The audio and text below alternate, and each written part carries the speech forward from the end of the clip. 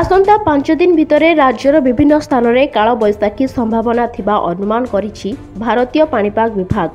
এনে মঙ্গলবার সকাল পর্যন্ত অধিকাংশ জেলাকু অরেঞ্জ ওয়ার্নিং জারি করেছি বিভাগ অন্যপক্ষে আন্তর্জাতীয় পাণিপাগ বিশেষজ্ঞ জাসন নিকলোস সোমবার এক টুইট করে বাত্যা সূচনা দিয়েছেন ବଙ୍ଗୋପସାଗରରେ ସୃଷ୍ଟି ଲଘୁଚାପ ଆସନ୍ତା ସପ୍ତାହ ସୁଦ୍ଧା ପୂର୍ବ ଭାରତରେ ଏହାର ପ୍ରଭାବ ଦେଖାଇବ ବୋଲି ସେ ଅନୁମାନ କରିଛନ୍ତି ଚଳିତ ସପ୍ତାହର ଶେଷ କିମ୍ବା ଆସନ୍ତା ସପ୍ତାହର ଆରମ୍ଭରେ ଏହି ଲଘୁଚାପ କ୍ଷେତ ସାଇକ୍ଲୋନିକ ଷ୍ଟର୍ମ ରୂପ ନେଇପାରେ ଏହାର ପ୍ରଭାବ ଭାରତ ବାଂଲାଦେଶ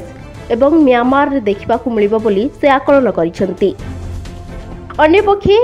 ଆଇଏମ୍ଡି ଡିଜି ମୃତ୍ୟୁଞ୍ଜୟ ମହାପାତ୍ର ମଧ୍ୟ ମେ ପାଞ୍ଚ ତାରିଖ ପରେ ଦକ୍ଷିଣ ପୂର୍ବ ବଙ୍ଗୋପସାଗରରେ ଲଘୁଚାପ କ୍ଷେତ୍ର ସୃଷ୍ଟି ହୋଇପାରେ ବୋଲି ଆକଳନ କରିଥିଲେ ଏହି ଅଧିକ ଏହା ଅଧିକ ଘନୀଭୂତ ହୋଇପାରେ ବୋଲି ସେ ଆକଳନ କରି କହିଥିଲେ ତେବେ ଏତେ ଶୀଘ୍ର ଏହା ଉପରେ ଆକଳନ କରିବା ସମ୍ଭବ ନୁହେଁ ବୋଲି ସେ କହିଥିଲେ ଇତିମଧ୍ୟରେ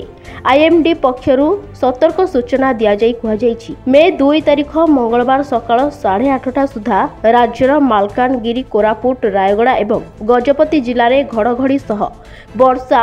ତିରିଶରୁ ଚାଳିଶ କିଲୋମିଟର ତିରିଶରୁ ଚାଳିଶ କିଲୋମିଟର ବେଗରେ ପବନ ବହିବାର ସମ୍ଭାବନା ରହିଛି ସେହିପରି ଅନୁଗୁଳ ମୟୂରଭଞ୍ଜ କେନ୍ଦୁଝର ଦେବଗଡ଼ ବାଲେଶ୍ୱର ଭଦ୍ରକ ଓ ଯାଜପୁର ଜିଲ୍ଲାର ଗୋଟିଏ ବା ଦୁଇଟି ସ୍ଥାନରେ ଏହି ସମୟ ମଧ୍ୟରେ ଘୂର୍ଣ୍ଣିଝଡ଼ ସହ ତିରିଶରୁ ଚାଳିଶ କିମି ବେଗରେ ପବନ ବହିବାର ସମ୍ଭାବନା ରହିଛି